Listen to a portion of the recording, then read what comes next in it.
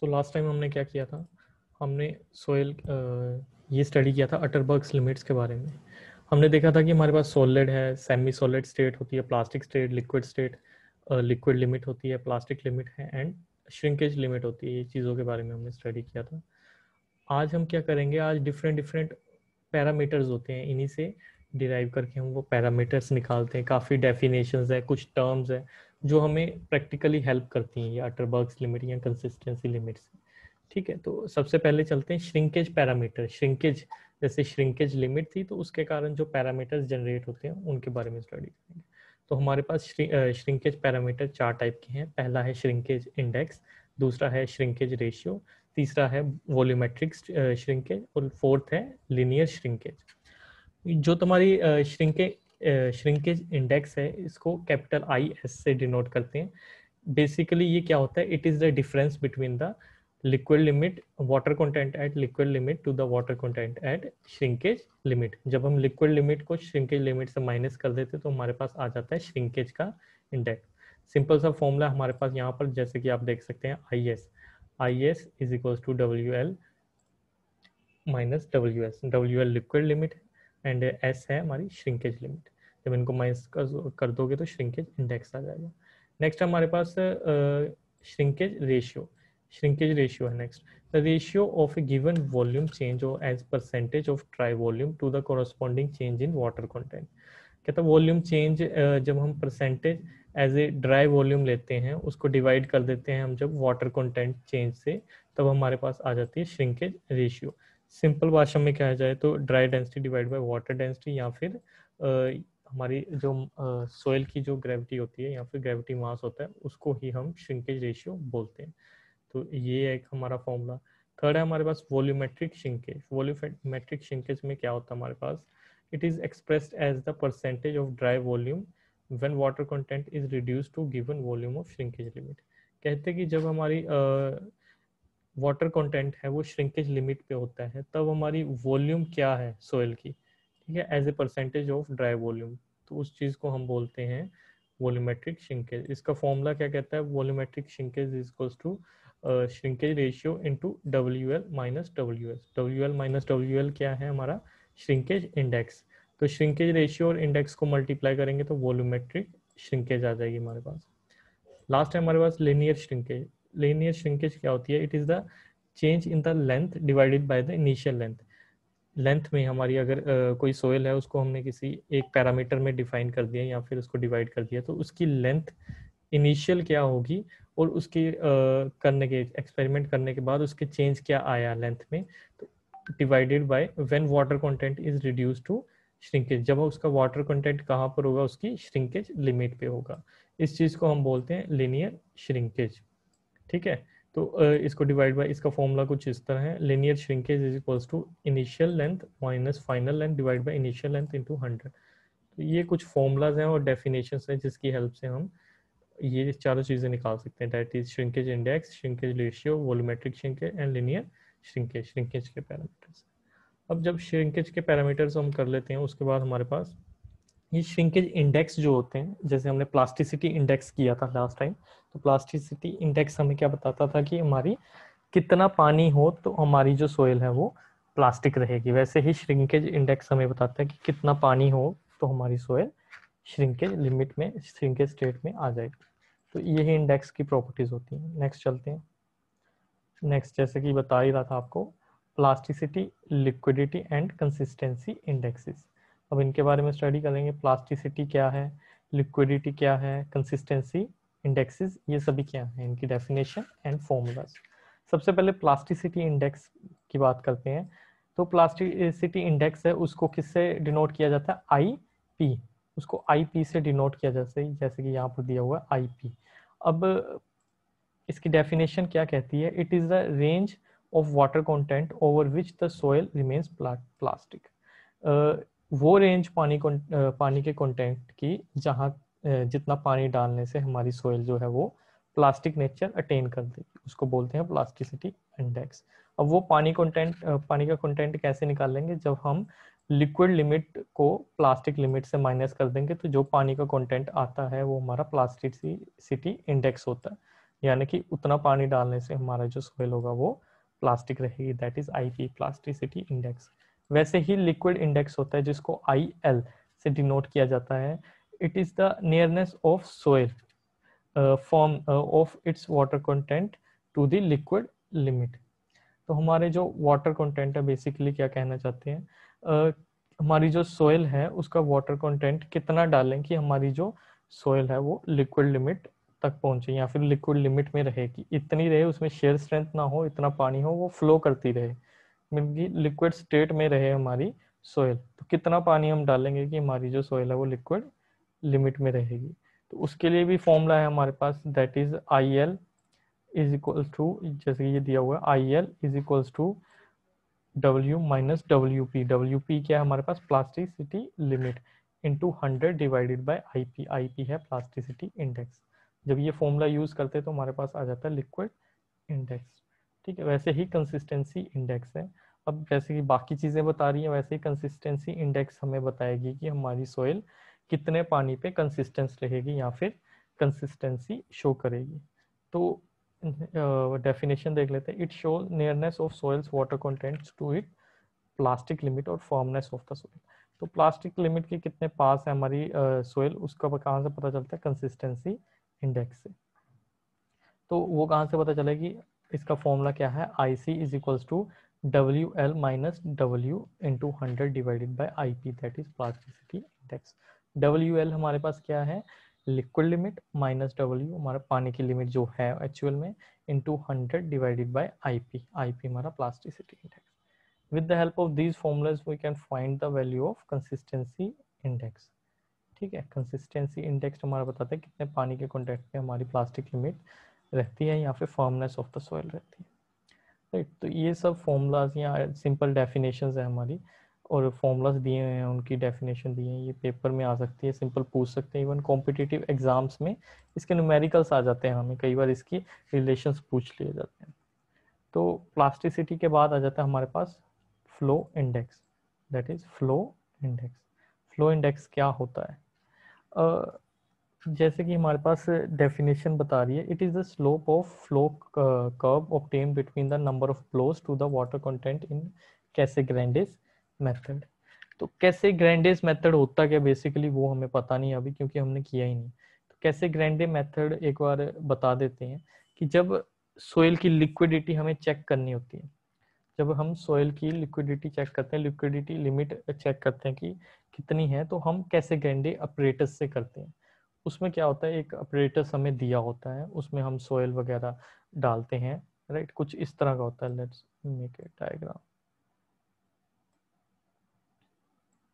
यहाँ पर एक बकेट सी होती है यहाँ पर एक आ, उसका हैंडल सा होता है यहाँ पर अटैच्ड होता है और यहाँ पर एक टर्न करने वाला हैंडल होता है रोटेट करता है जो उसको कुछ इस तरह से।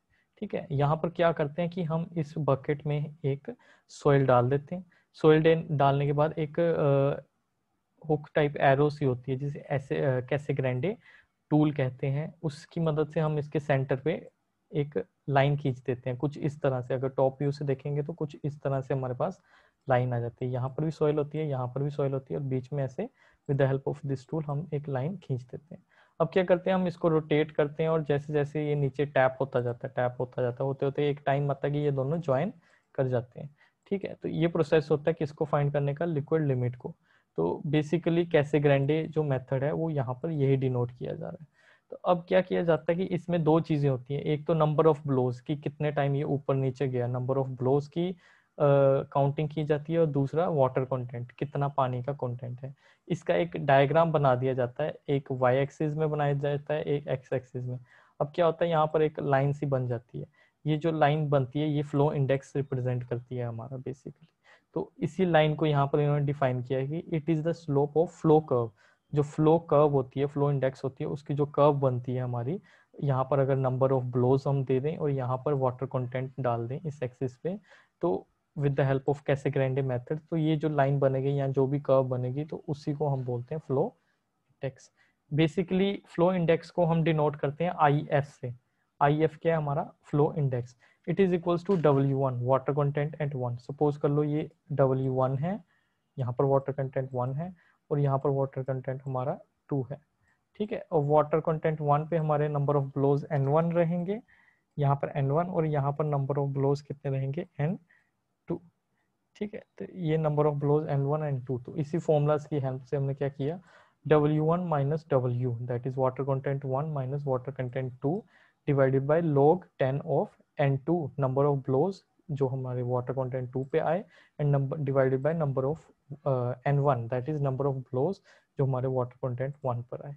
तो इन सभी को जब हम सॉर्ट uh, आउट करते हैं तो हमारे पास आ जाता है फ्लो इंडेक्स ठीक है तो ये चीज़ थी हमारी कैसे ग्रैंडे की हेल्प से कैसे हम फ्लो इंडेक्स निकाल देते हैं और ये फॉर्मूला वहीं से आता है। ठीक है? इजीली कहा जाए तो मतलब फ्लो इंडेक्स होता क्या क्या चीज़ रिप्रेजेंट क्या कर रहा है? प्लास्टिसिटी ने प्लास्टिसिटी बताई, बाकी चीज़ों ने, हर एक ने कुछ ना कुछ बताया। वैसे ही जो हमारा फ्लो इंडेक्स है it is the rate at which soil loses its shear strength with increase in water content कहते जैसे जैसे हम पानी डालते जाते हैं सोयल में, उसकी जो शेयर स्ट्रेंथ होती है, आपस में पकड़ होती है सोयल के पार्टिकल्स की, वो लूज करती जाती है। तो फ्लो इंडेक्स से हमें पता चल जाता है, ये जो डायग्राम बनाया था हमने पहले ऐसा इससे हमें पता चलता जाता है कि कितने पानी पे हमारे जो सोयल ने उसकी शेयर स्ट्रेंथ लूज की मतलब कितनी लूज हो रही है। तो ये चीज़ हमें यहाँ से फ्लो इंडेक्स से पता चल जाएगी। और जैसे कि हमें पता है शेयर स्ट्रेंथ हमारी क्या एक इंजीनियरिंग प्रॉपर्टी है। तो हम स्टार्टिंग में बता चुके हैं कि with the help of index properties हम शेयर स्ट्रेंथ निकालेंगे। ठीक है? तो वैसे ही फ्लो इंडेक्स भी हमारे एक शेयर अपनी इंजीनियरिंग प्रॉपर्टी के बारे में बताता है, वो है शेयर स्ट्रेंथ ठीक है तो कितनी लूज कर रही है हमारी सोयल तो यहाँ से पता चल जाती है। तो ये है फ्लो इंडेक्स जब हम फ्लो इंडेक्स कर लेते हैं तो फ्लो इंडेक्स के बाद हमारे पास आ जाता है next toughness index that is also very important toughness toughness index अब टफनेस इंडेक्स में होता क्या हमारे पास वो भी चीज़ देख लेते हैं। ठीक है तो toughness index is defined as the ratio of plastic index to the flow index बहुत ही सिंपल है। जब हम प्लास्टिक इंडेक्स दैट इज़ कितनी प्लास्टिक हमारी सोयल डिवाइड कर देते हैं फ्लो इंडेक्स दैट इज़ हमारी सोयल कितनी जल्दी शेयर या फिर अपनी आपस में पकड़ लूज कर रही है। इन दोनों को जब डिवाइड करते हैं तो हमारे पास आ जाती है टफनेस इंडेक्स अब टफनेस इंडेक्स क्या रिप्रेजेंट कर रही है हमारी कि सोयल में कितनी शेयर स्ट्रेंथ है हमारी। शेयर स्ट्रेंथ को ही बता रही है, जैसे कि इसका नाम ही बताता है, कितनी टफ है सोयल हमारी।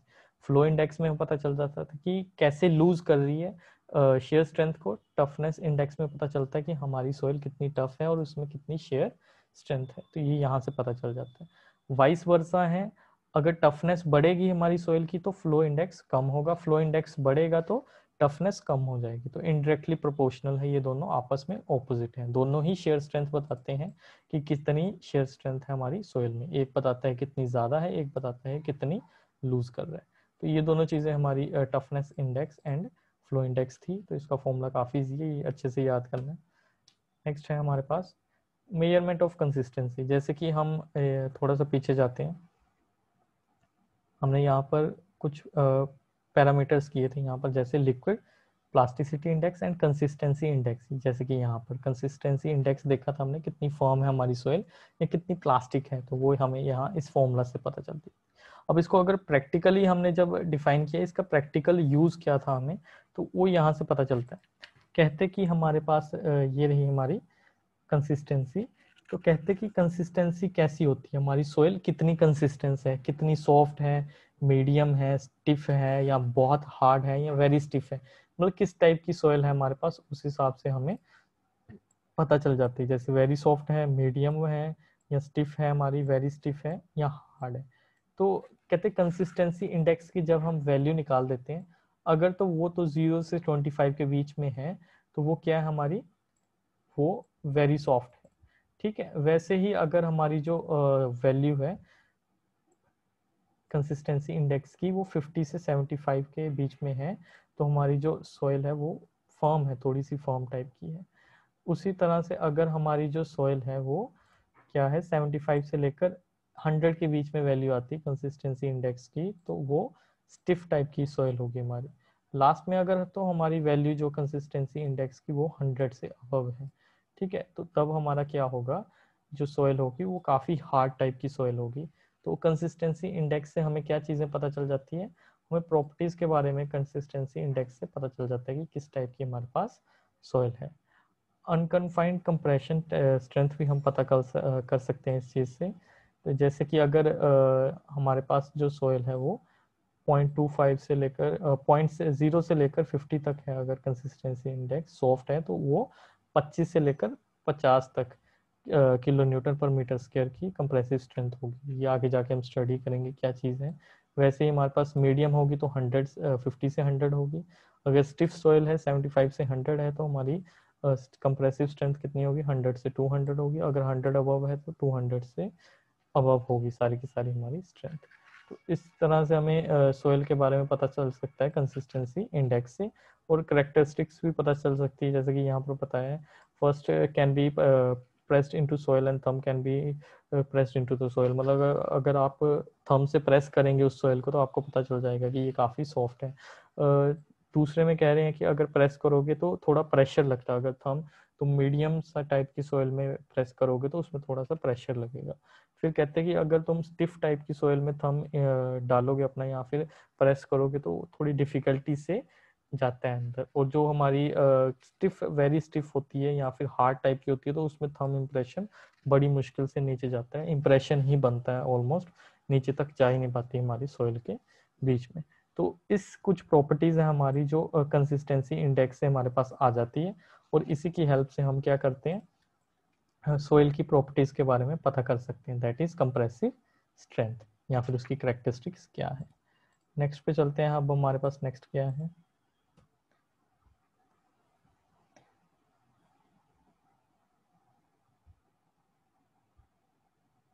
हाँ ये काफ़ी इंपॉर्टेंट टॉपिक है हमारे पास। दैट इज़ चलिए ये करते हैं।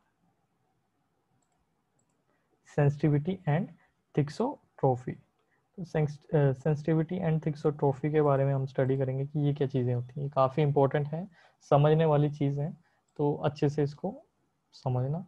सेंसिटिविटी एंड थिक्सोट्रोफी पहले हम बात करेंगे सेंसिटिविटी के बारे में, फिर हम बात करेंगे थिक्सोट्रोफी के बारे में। तो डेफिनेशन देखते हैं।